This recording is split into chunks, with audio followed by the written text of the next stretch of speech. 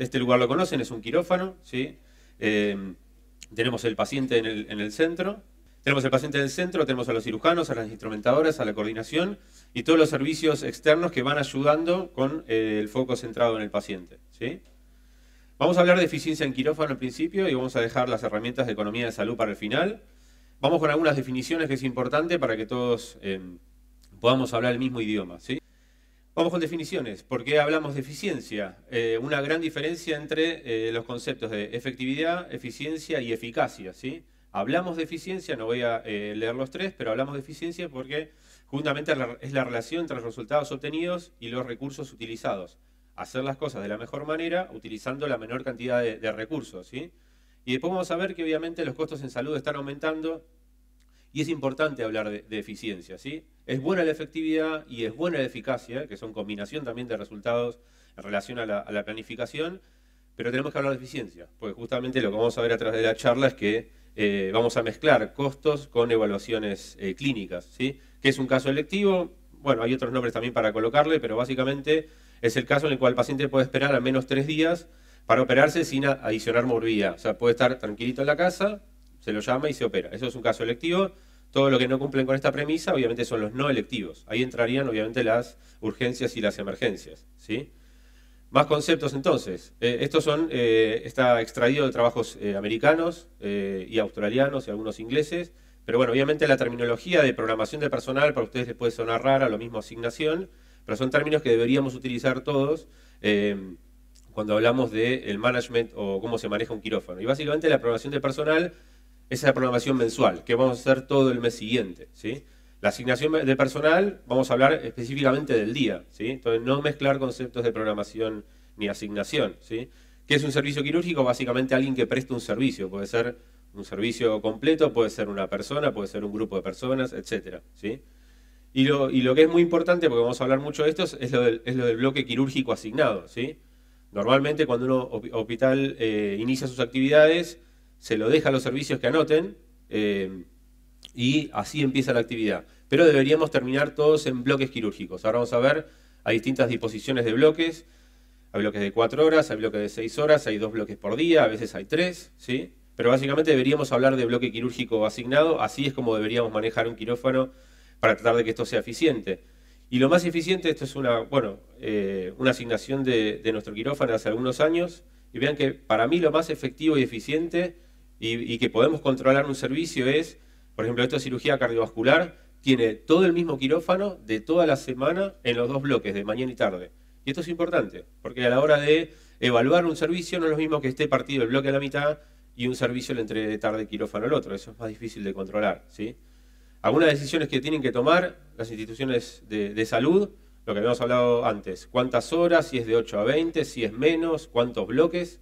Habitualmente dirección médica es el responsable de tomar este tipo de decisiones y lo que les mencionaba antes, si el quirófano abre, abre sus puertas y no sabemos a quién darle qué bloque, eh, se utiliza lo que llama el que primero llega, primero se sirve. ¿sí? Llaman por teléfono, quiero entrar en la cirugía, ahí está el quirófano para utilizar. ¿sí? Otras decisiones, cuando hay un 20% más de urgencias, esto está publicado, deberíamos tener un quirófano para urgencias. ¿sí? En nuestro hospital, eh, este ratio, este índice dio 16%, con lo cual se tomó la decisión de no tener un quirófano para urgencias. ¿En cuántos hospitales de ustedes tienen un quirófano o dos o tres asignado para urgencia? Levante la mano rápido en la encuesta. 1, 2, 3, 4, 5. Es el 15% más o menos. Es más bien bajo. Debería ser un 40-50% y eso es lo que está publicado. Pero es verdad que si no llega al 20% de urgencia, eh, a nivel de efectividad y, eficiencia no es, eh, no es bueno asignarle un quirófano para urgencias. ¿sí? Vamos a hablar de, indicadores, ahora en particular que ya tenemos los conceptos eh, incorporados. ¿sí? El número de cirugías es un indicador muy embrionario, muy básico, cuántas cirugías se hacen, eso obviamente evalúa rentabilidad, pero tampoco tiene muchos costos. Obviamente que uno quiere incrementar la cantidad de cirugías, pero esas cirugías obviamente tienen que ser eficientes, el quirófano debe ser eficiente, con lo cual el número de cirugías es un, es un indicador que se toma, como, como mencioné recién, bastante embrionario. Esto es importante, puede también cambiar la terminología, pero son traducciones literales de, trabajos eh, anglosajones. Este es el ciclo de vida de un, de un, quirófano, ustedes ya lo conocen, pero para ponerle los términos adecuados, ¿sí? la preanestesia, el inicio de la anestesia, la piel, la propia cirugía, el, tiempo de recambio, que lo vamos a ver, es un indicador muy importante, y la rotación quirúrgica. ¿sí? El tiempo de recambio es entre que sale un paciente y entra el otro, y la rotación quirúrgica es el tiempo entre que termina una cirugía y empieza la cirugía siguiente, con lo cual acá tenemos el fin de anestesia del paciente anterior y la anestesia del paciente siguiente. Y ahora vamos a ver por qué es un indicador bastante eh, complejo de controlar, pero bueno, y encima tiene adentro eh, el tiempo de recambio. ¿sí? Indicadores de utilización. Estos sí son importantes porque es una medida de eficiencia. ¿sí? ¿Cuánto está ocupando el quirófano un servicio en particular o un cirujano en particular y qué tan eficiente es ese, quirófano? Uno es el tiempo de sobreutilización. Les anticipo que la sobreutilización es peor que la subutilización, porque la sobreutilización habitualmente, si tenemos una línea de cirugías hasta las 20, 21 horas y sistemáticamente debemos llamar personal desde afuera para hacer esas cirugías, es un quirófano extremadamente ineficiente. Entonces es preferible tener subutilización, que aún así es malo, pero lo peor es tener la, eh, sobreutilización. Y básicamente ahí está, eh, así es como se saca, es un ratio. se incluye en el numerador la rotación de quirófano más el tiempo quirúrgico dividido la disponibilidad, y eso da un porcentaje. El porcentaje debería estar para cirugías selectivas alrededor del 90%. Esto a veces es difícil, es complejo, es muy probable que los quirófanos estén subutilizados. La sobreutilización es muy difícil de manejar porque, claro, hay que construir otro quirófano, hay que pedir otro hospital, etc. ¿Cuántos de ustedes miden este ratio en sus hospitales de utilización? Es el ratio más sencillo de todos. ¿Cuántos? Rápido, arriba. 1, 2, 3, 4, 5, 6. El 1% mide esto nada más y se, renovó toda la gente de la charla que di el año pasado, por lo es malo. En Argentina lo mismo, nadie utiliza esto, porque claro, si está subutilizado no pasa nada, igual tiempo libre, entonces no hace falta que las cirugías sean más efectivas, los cirujanos vayan más rápido, el anestesista trabaje bien, porque total hay tiempo ocioso. Pero tengan en cuenta que ese tiempo ocioso igualmente tiene un costo y alguien lo paga. O lo paga el Estado, o lo paga un paciente, o alguien lo paga. ¿sí? El tiempo ocioso también se paga. Se llama costo de oportunidad. ¿sí? Debería estar un, paciente más ingresado en, esos quirófanos y, y no estar subutilizado. Retraso de la primera cirugía, ¿cuántos toman este ratio? ¿Arriba? ¿Sí? Desde que digo voy a operar a las 8, pero empieza a 8 y media, que es lo que pasa habitualmente. ¿Cuántos? Bueno, mucho más. ¿Cuántos tienen por arriba de media hora en su hospital? Los que lo toman. Arriba de media hora. O sea, casi todo lo que levantaron que lo toman tienen todos arriba de media hora. O sea que, bueno, es coincidente con lo que está publicado. Y esto es malísimo, porque está demostrado que si la primera cirugía arranca tarde y es media hora, al final del día tiene un efecto multiplicador que puede ser alrededor de dos o tres horas. ¿sí? Entonces es importante arrancar la primera cirugía a tiempo. ¿sí? Como esto obviamente es multifactorial y ya lo, vemos, lo vimos al principio, es complejo que todo arranque a tiempo, ¿sí? porque depende de muchas personas, depende de procesos y de cómo hacemos las cosas dentro de la planta quirúrgica. ¿sí? Este es nuestro retraso. Esto fue tomado en el año 2015. Es altísimo, es altísimo. En ese momento yo era jefe, fui jefe de quirófano durante cuatro años y este era un indicador mío, con lo cual tenía que ir a, dar explicaciones a dirección médica de por qué estaba alto el indicador.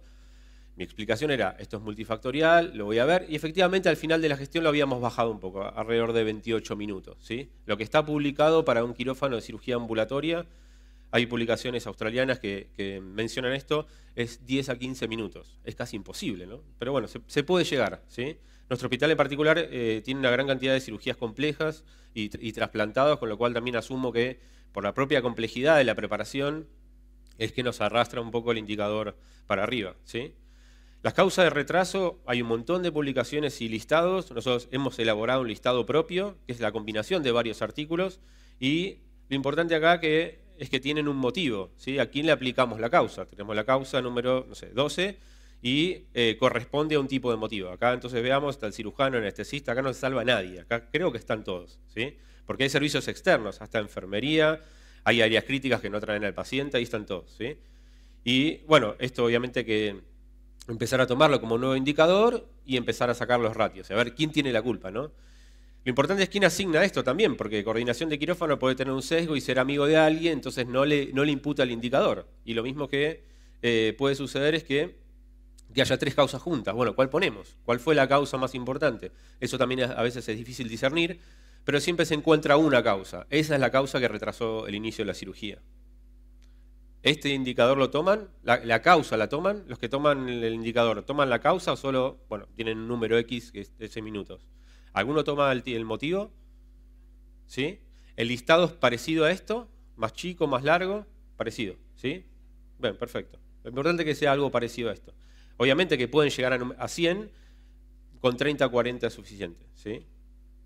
Bueno, esto es en nuestro hospital, básicamente, el 78% pasaba esto y tenían, concentraban cuatro causas, con lo cual, de todo ese listado de 30 a 40, lo habitual es que sea, haya una preponderancia hacia tres o cuatro. Te diría ya rápido, el anestesista estaba entre los primeros tres. Si hay anestesistas acá, discúlpenme, pero eso lo medí yo, digamos, no lo estoy inventando. ¿sí? Eh, pero el anestesista estaba entre los primeros tres. El cirujano estaba entre los primeros tres. Y al resto no lo voy a contar, porque hay mucha gente de quirófano también. Pero el quirófano también tenía algo de responsabilidad. ¿sí? El tiempo de recambio, entonces, entre que sale un paciente entra el otro. Obviamente acá, eh, interviene personal de limpieza y otros factores, productos, ya se, ha, hablado a lo largo de la mañana también el tema, el tema de control de infecciones. Eh, es un indicador que parece sencillo de manejar, pero a veces no lo es tanto. Las publicaciones, el tiempo ideal es, eh, lo que recomiendan es de 20 minutos, este, entre que sale y entra. ¿Cuántos tienen 20 minutos? ¿Cuántos 30? ¿Cuántos 40? ¿Cuántos tienen 40 minutos de recambio de cirugía? Sale un paciente entre el otro. ¿40? ¿Cuánto? ¿A uno tiene 20? Vamos para el otro lado. 20 minutos, sale un paciente entre el otro. El único quirófano que tiene 20 es mi quirófano. Yo hago cirugía de pie, pero tengo muy controlado. O sea, estoy mirando así a cada rato que todo el mundo haga su trabajo. Pero claro, no debería ser así. Debería ser un proceso y tener todos indicadores un poco más bajos. ¿sí? Hay estudios muy interesantes. Eh, este es eh, Franklin Dexter, es, alguien que ha publicado mucho en relación a eficiencia en quirófano, tiene más de 300 publicaciones, pueden leer cualquiera de ellas, son todas muy interesantes y él em, analizó un par de hospitales en Iowa y eh, lo que publicó, esto me lo mandó antes de que sea publicado, y él dice que el mejor escenario es darle a un cirujano dos o tres cirugías y que se vaya a la casa. Pero digo, ¿pero cómo? Si hay un bloque quirúrgico eso. Me dice, está demostrado que los hospitales en Estados Unidos, los que más crecieron, porque después el cirujano se cansa, ya le importa menos el tiempo de recambio, entonces se tiene que ir a su casa. Digo, pero eso es casi impracticable porque va en contra de los bloques. Me dice, mira, es un estudio observacional, yo vi que dale dos cirugías a un cirujano y que se vaya a la casa. ¿sí? Bueno, perfecto. Esto puede cambiar un poco en paradigma, porque eh, obviamente si uno, toma el, indicador, hay que saber qué hacer después, ¿sí? Pero entonces cambia el paradigma de los bloques. Entonces ponemos un cirujano que sabemos que opera rápido, dos horas, dos horas, dos horas, y listo, y a la casa, ¿sí? Y eso aparentemente es más efectivo. Se evaluaron 116 hospitales en Iowa. Todo Iowa, todos los hospitales eh, aportaron casos y, e información en relación a esto, ¿sí? Algunas medidas de mejora para el tiempo de recambio, comunicación eficiente, circuito, hay un montón de mejoras. Eh, obviamente lo importante es, identificar cuál es el problema. ¿sí? El indicador este de rotación quirúrgica a nosotros nos dio muy alto, se recomienda alrededor de 40, 50 minutos. Ahí ya el anestesista toma un rol mucho más importante porque está el fin de la primera cirugía y el inicio de la, de la siguiente hay que tratar de bajar este indicador, es un indicador muy importante y hace que un quirófano sea muy ineficiente. ¿sí? Obviamente hay que hablar con el anestesista, hay que meterse con las drogas y, con procesos y con circuitos, ya se ha hablado también a la mañana con, el tema de este control de infecciones, que obviamente también hay tiempos relacionados a eso. Así que es un flagelo, por lo menos cuando, cuando yo era jefe, y no lo pudimos bajar mucho. Fue muy, muy difícil porque, claro, era, era uno a uno, ¿no? Teníamos que hablar uno a uno y ver... Era difícil identificar el problema porque era, era realmente multifactorial, ¿sí? Acá les menciono algunos, algunas eh, publicaciones en relación a datos, eh, herniorrafia umbilical, artroscopía, vean también un poco los, valores, y este, este, es el promedio que nos dio, muy bajo tiempo de recambio y muy alta la, rotación quirúrgica. Recomendaciones para el número de camas, esto bueno, más que nada para los, los, gerenciadores. Ellos recomiendan dos, dos, camas, dos camas de recuperación por cada sala quirúrgica. Esto a veces por un tema de espacio y de, y de costos no es posible pero deberíamos tener eso, eso hace eficiente para que el paciente salga y vaya directo a la recuperación. Cirugías canceladas, el concepto de cirugía que luego de ser programada sufre una suspensión. Esto es un, indicador que mucho no se toma, tiene un valor, un rango donde tiene que estar, obviamente de nuevo es multifactorial, pero también lo tienen que controlar porque también es un ratio de ineficiencia. ¿sí? Entonces, cancelaciones se han medido eh, en, algunas publicaciones y se ha evaluado el costo también, lo que, llama, lo que habíamos mencionado de costo de oportunidad, cuánto sale que no esté utilizado porque se canceló. Y si esa cancelación se, pudo haber eh, previsto o no, o, simplemente fue imponderable. Las razones son múltiples y, van variando, pero este es el, ratio que tiene que dar. Em, vean acá, este es un trabajo español, entonces causas, eh, no había quirófano. ¿Sí? acá en el 20%, no había quirófano, ¿sí? o el paciente no llegó. ¿sí? Esto es lo más frecuente, lo que más está publicado. ¿sí? El paciente no llegó porque no llegó, no se quería operar, fiebre, no avisó, no llegó. ¿sí? Y lo otro son causas en relación al quirófano. O sea que, efectivamente, si la cirugía está anotada a las 4 de la tarde, no, no se hace a las 4 de la tarde, se hace a las 6 o, lo que sea. Y acuerden siempre del indicador de eh, inicio de primera cirugía. A nosotros nos dio 3.2, bastante bajo, pero tengan en cuenta, tiene que estar entre 6 y 9, sería algo bastante razonable para, esto. ¿sí? Es un chiste de traumatólogo, rápido, ¿sí? no lo voy a ver, léanlo rápido. Así que es como el baile, bailamos antes, yo después, ¿cómo hago? Tengo que bailar yo también, para un poco seguirla. Ya estaba el chiste igual, no era por el baile. ¿Cuánto cuesta el minuto de quirófano? ¿Uno sabe cuánto cuesta el minuto de quirófano en sus hospitales? Levanten la mano. En dólares, dolarizado, un minuto. ¿Cuánto vale? ¿No saben? Yo sí lo sé, pero porque lo tenía que saber, ¿sí? No importa el costo. Entonces, claro, el, tema es si todos debemos saber esto. Para ustedes, ¿ustedes deberían saber el costo de la hora del minuto de quirófano? ¿Ustedes deberían saberlo? Levante la mano. ¿Para qué? ¿Qué hacen? sí, yo les doy el dato. ¿Y qué hacemos ahí? Intentamos bajarlo, ¿no? Tampoco sabemos si el valor es mucho o poco. Deberíamos tener valores para atrás y deberíamos tener un objetivo, ¿sí? un endpoint. ¿Cuál sería el valor? ¿sí? Hay múltiples eh, publicaciones en relación a esto, de qué, deberíamos saber todos. Les anticipo que nadie sabe nada y hay una línea institucional que no quieren que se sepan estas cosas. ¿sí? Y es un problema, porque si no sabemos cuánto vale, no lo vamos a querer bajar, nos da igual. Nos parece que el tiempo alguien lo paga, pero ustedes un minuto sin hacerlo en el quirófano, alguien lo está pagando seguro. Ahí hay sueldos, hay un montón de cosas que están pagando y eso es ineficiencia. ¿sí? Y obviamente, bueno, depende de muchas, hay un montón de herramientas de costeo. Eh, entonces, según Macario, si hay algo que no se puede medir con eficacia, no puede ser manejado efectivamente. Parece bastante coherente la situación. ¿Cuánto dinero está perdiendo? Una pregunta clásica es, pasaron 15 minutos, ¿cuánto dinero perdió el hospital? Nadie sabe. ¿sí? Hay que hacer una cuenta, nadie sabe. Porque si no sabemos el minuto, multiplicarlo por 15 menos. ¿sí? Y eso es un problema también. Yo creo que todos deben saber todo. Por lo menos lo que trabajan en la planta quirúrgica, saber cuál es el costo mes a mes del minuto y después hacer el, prorrateo. Porque de esa forma nos vamos a dar cuenta que alguien está pagando, alguien está pagando eso que nos está utilizando. ¿sí? Esto es una, como una tabla, un tablero de control con algunos de los indicadores. Esto es lo que, lo que recibíamos eh, mes a mes. Ustedes pueden armar el que sea.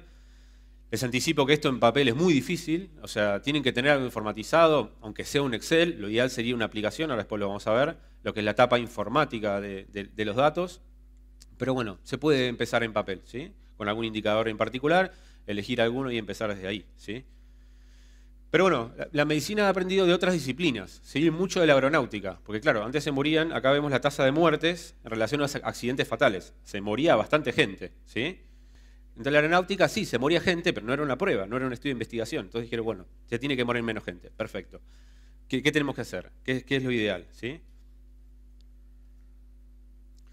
Entonces, ¿qué hicieron? Estandarizaron los procesos, normas, protocolos, checklists, seguramente en hospitales también se hace, el abordaje sistémico, esto del manejo de la información, barreras de protección, ahora vamos a ver, el ejemplo típico es el del queso gruyère, que tiene que haber varias barreras para algunas cosas, la torre de control, que es lo que mostramos antes, eh, la caja negra, eso obviamente no está todo grabado no está todo filmado, pero bueno, si podemos ir para atrás sobre algún evento, eso sí es importante.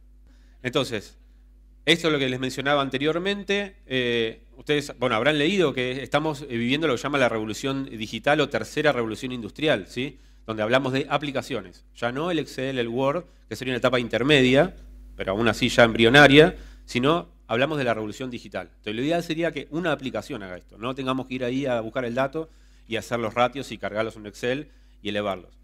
Por suerte en nuestro hospital fuimos avanzando y eh, a través de aplicaciones esto se hacía solo. Entonces a mí me llegaba esa tabla que vieron ustedes y a partir de ahí trabajaba con eso. ¿Cuántos de ustedes tienen aplicaciones para programar cirugías y el parte quirúrgico informatizado? Por ejemplo, arriba. Bajo. ¿Papel? ¿Mucho papel? Papel. ¿Cuánto papel? Arriba, papel. Programación, se opera mañana José Pérez, papel. ¿Sí? Mucho papel.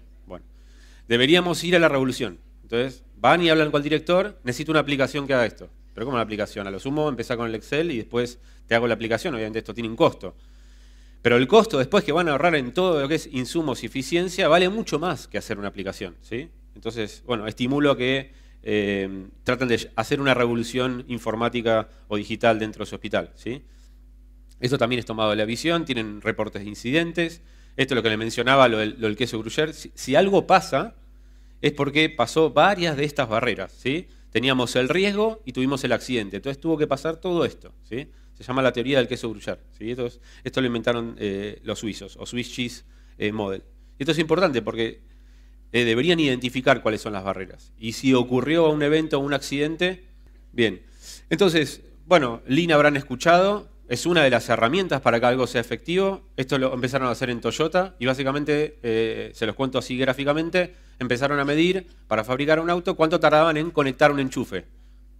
son menos de dos o tres segundos. Bueno, eso, eso se controló y a partir de ahí, esto se llama el método Lean y ahora hay muchísimas publicaciones relacionadas en, en medicina.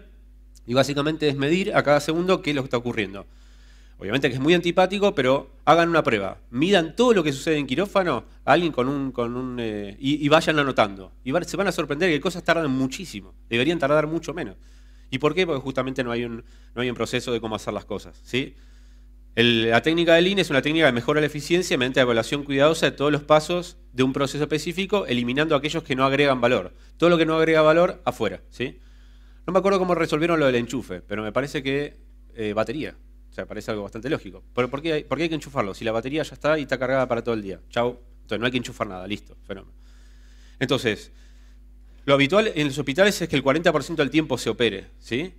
Pero la planta quirúrgica en general contribuye al 50% del ingreso al hospital. Entonces hay, hay, una ecuación ahí que no cierra, que tenemos que resolver, ¿sí?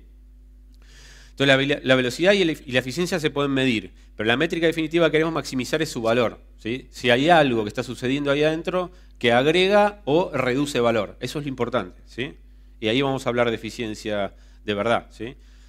Eh, Serfolio publicó esto hace poquito, esto me lo pasó un cirujano de tórax, tiene dos meses, un par de meses la publicación. Es un método de los cinco pasos, es una forma también, es lean, y básicamente lo que hizo él fue medir todos los, los, los procesos. ¿sí? Para él, tiene una serie de pasos, elegir las métricas, definir, lo que estamos hablando, indicadores, definir las métricas, eh, elegir las métricas, que todos los interesados participen, lo que hablamos de los datos. Entonces, me gusta este, este, modelo de cinco pasos porque nuclea lo que vengo diciendo hasta ahora. ¿sí? Fomentar la participación es clave porque si no, si estamos ahí controlando lo que hace el otro y no le decimos para qué es, seguramente va a estar a la defensiva y va a mentir o no va a notar bien las cosas. Entonces, involucrarlos también en el proceso para mejorar la, la eficiencia. ¿sí?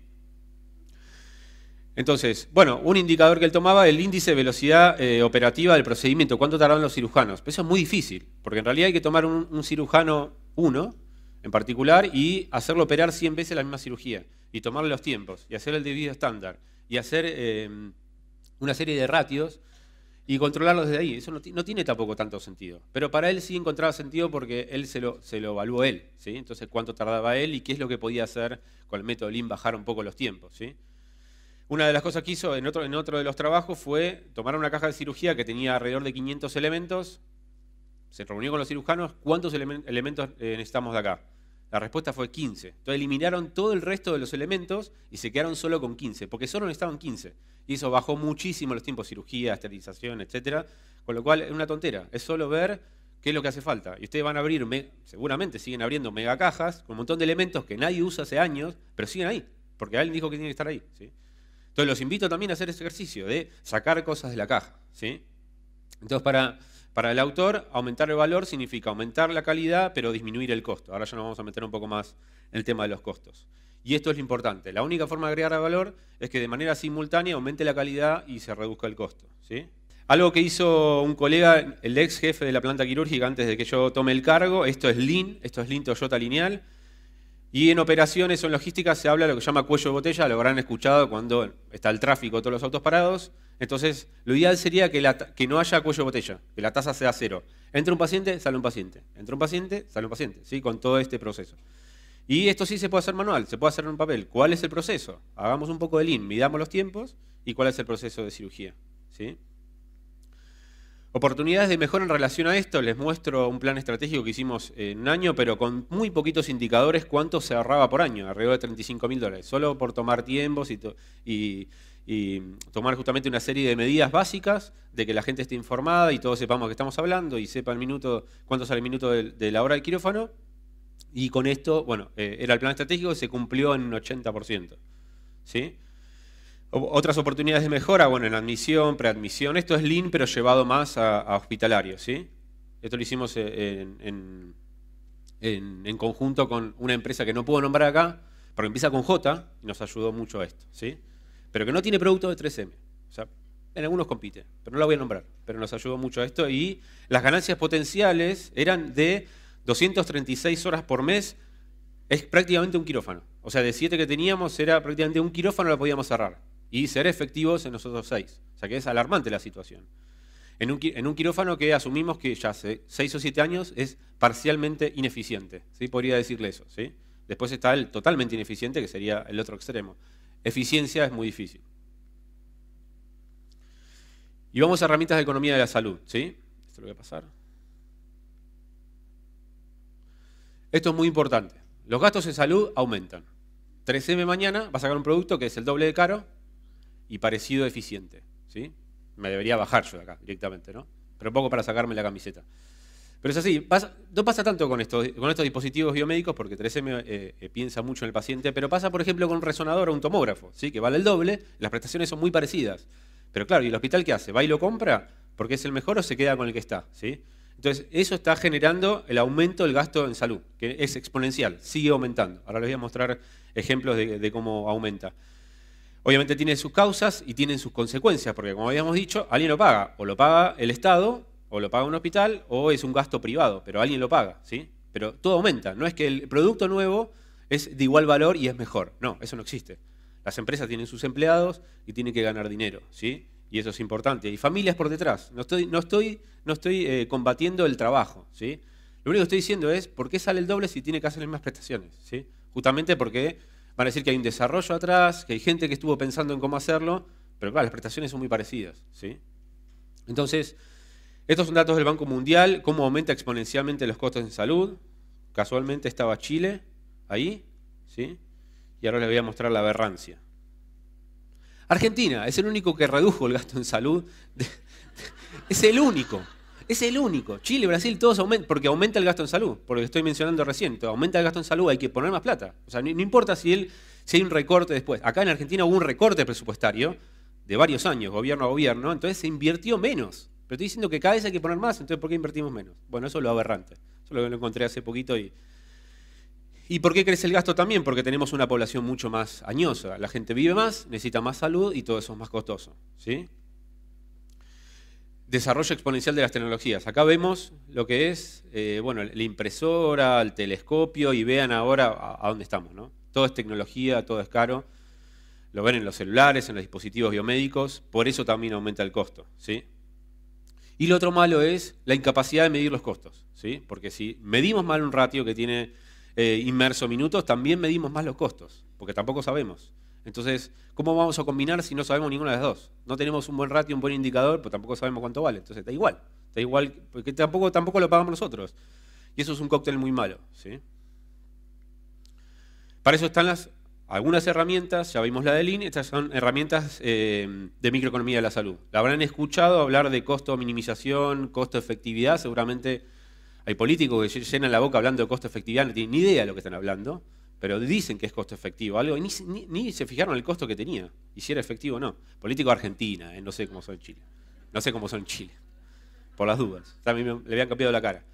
Básicamente voy a hablar de los de efectividad y los de utilidad, nada más para mencionarles, porque hay un montón de bibliografía dando vueltas en relación a la planta quirúrgica eh, y eficiencia, que son de estos tipos de... Entonces, lo importante es, no sé si hacer un trabajo o diseñarlo, pero por lo menos leer el trabajo y entender la, conclusión, a ver si cambiamos un producto por otro. Pero este ejercicio, que habitualmente se hace, pero se hace de manera muy rudimentaria, porque no tenemos los efectos clínicos de muchas de las, situaciones, pero tenemos los costos. Pero, entonces, costo-beneficio, costo por costo y cambiamos el producto. Y listo.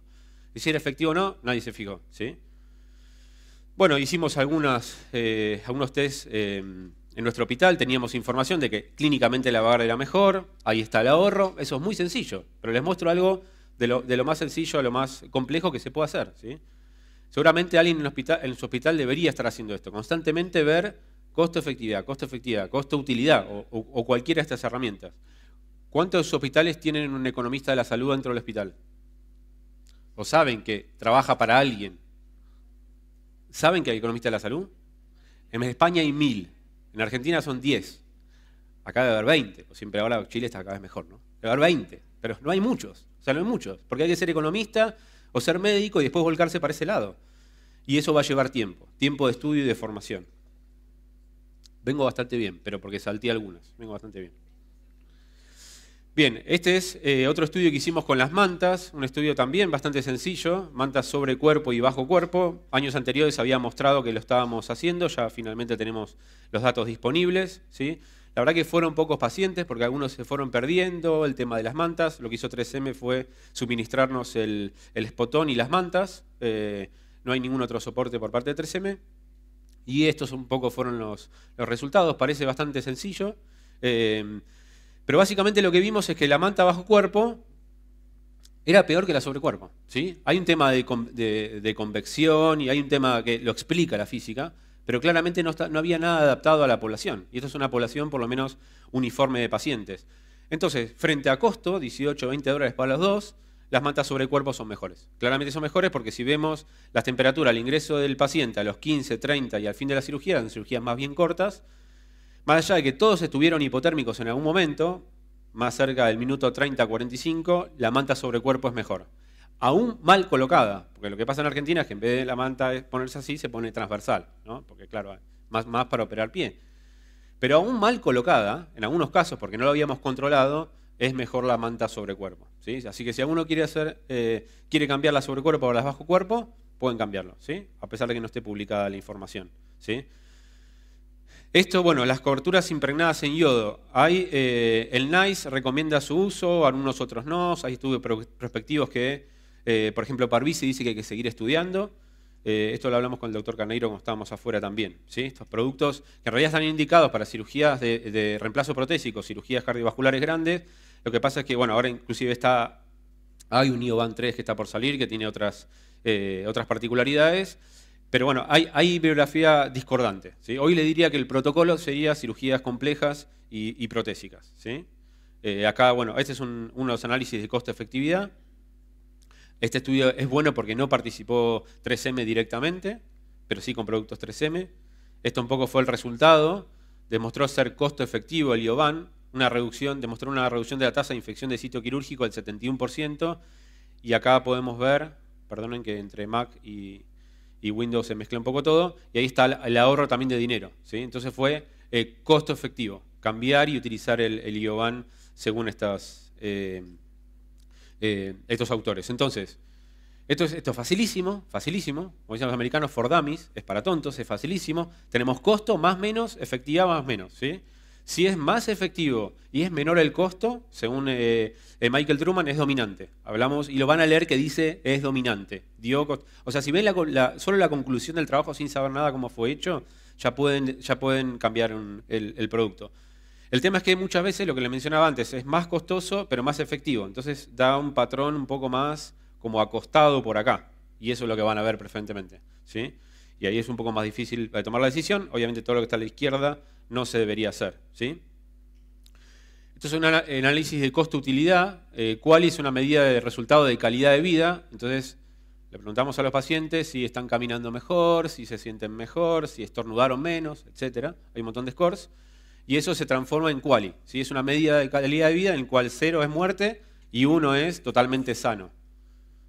Uno no hay, porque si hay un dolor de muela ya no es uno, será 0,99. ¿sí? Entonces a partir de ahí vamos jugando con esos valores y obviamente también incorporamos costos adentro. Así se hacen los costos, entonces costo más calidad de vida y eso nos va dando un poco los, los ratios, ¿sí? Y da un valor numérico. Y ahí ya sabemos, ¿sí? El ratio entre esa combinación de, los dos valores dio más alto o más bajo, cambiamos o no el producto o, o, lo seguimos como estábamos. Obviamente no todo es transformable a quali, por ejemplo, el manejo de la temperatura, calidad de vida, ¿qué hacemos con el paciente? Estaba dormido, el paciente no puede hablar, entonces no sabemos. Bueno, ¿cómo, ¿cómo transformamos eso en algo de calidad de vida e incorporamos costos? Porque eso es un dato, es como la glucemia. A veces no se puede transformar eso en calidad de vida. Entonces es el dato que tenemos y eso sería más costo-efectividad y no tanto costo-utilidad. ¿sí? Si ponen costo-utilidad en el PubMed, en el buscador, ahí aparecen los artículos. Así se llaman. Esas son las palabras de búsqueda. Y bueno, lo que le mencionaba recién de la matriz de, Drummond también, entonces aumentan los qualis, disminuyen los qualis, aumenta el costo, se reduce el costo. ¿Sí? Y da algo así como estas ecuaciones. ¿sí? Si lo que veníamos haciendo antes que vamos a decir que es A versus el B, y con cuál nos quedamos después. ¿sí? Entonces, terminé antes, porque me apuré. Mejor, porque estoy con la voz medio mal. Bueno, entonces, para cerrar, lo que les podría mencionar, y así dejamos espacio también a las, a las preguntas, es que a veces es difícil combinar, pero tengan esto en, cuenta y en la cabeza. La eficiencia de la planta quirúrgica con protocolos de información que o tenemos que generar nosotros o están disponibles con las evaluaciones microeconómicas. O sea que pueden empezar a hacer, hacer un, empezar a hacer un ejercicio teórico de ver, a ver, tenemos los costos de esto, saber qué tan efectivo es esto, ¿podemos cambiar un producto por el otro? La respuesta es sí o no. ¿sí? Obviamente que hay tanta información disponible y hoy a lo largo de la mañana y el día de ayer se mostró mucha información clínica y de valor, pero claro, no está el costo inmerso en esos trabajos. Entonces, más allá de que tengamos que hacer, eh, cambiar la indicación médica para distintas situaciones, no sabemos cuánto valen. Muchas veces no sabemos cuánto valen. Así que bueno, siendo, faltando siete minutos, gigante el, número ese, gigante. Me imagino que después se pone rojo o algo así. No, voy a estar para vivirlo. Así que bueno, con esto termino y abierto a preguntas. ¿eh?